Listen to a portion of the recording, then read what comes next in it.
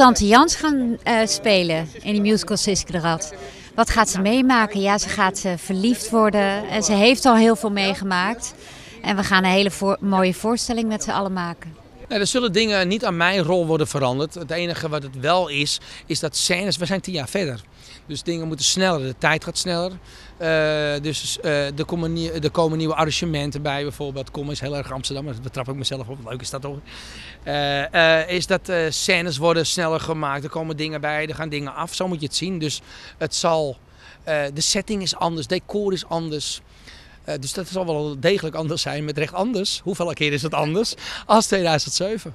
Ja. Eigenlijk heb ik Danny overgehaald door te zeggen: luister vriend, je kunt nog één keer die rol eigenlijk spelen in de leeftijd waarin je nu zit. Eigenlijk kun je nu bewust zeggen: ik neem afscheid van de rol van mijn leven. Heel bewust. Daar staat ook alles in het teken van. Danny neemt afscheid van zijn Siske. En toen ik dat tegen hem zei, zei hij: je hebt gelijk. En hij was zelfs ontroerd toen ik dat zei. Dus hij gaat afscheid nemen van Siske het komend seizoen. Ik ben nu 46, ik ben in een goede conditie. Maar wie weet, ben ik er over tien jaar, het is niet heel negatief, maar ik ben heel realistisch. Ik heb Johan Cruijff goed gekend. Schrik ik me ook met rechte kaleren als ik hoor, jeetje man, overleden. André Haas goed gekend, overleden. Koffiedik kijken. Ik weet niet of ik, of ik er over tien jaar nog ben. Dus het moment is juist, nu.